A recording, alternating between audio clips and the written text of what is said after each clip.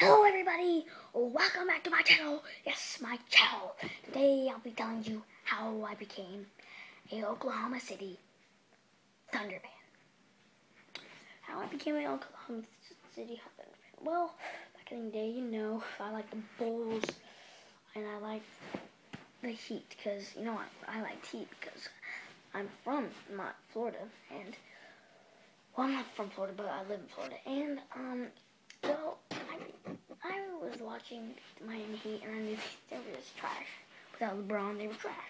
So what I did was I looked at Kevin Durant and oh, I like it.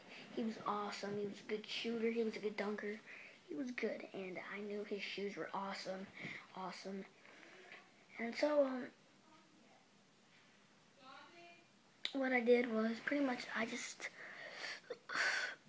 so what I did. So you know that's what I did and uh, and I became a Thunder fan. And I really, I didn't really come, become a Thunder fan after that, but then I watched their videos and I liked them, liked them, and liked them more.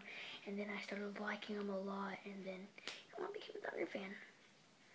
That's it. So, well, you're all a bunch of bloody legends, and uh, well, I guess you should subscribe to this video in my channel, Jazzy Jay-Z, and subscribe to Viper Viper and you well, that's it. You're all bloody legends, you. Jazz! Yeah.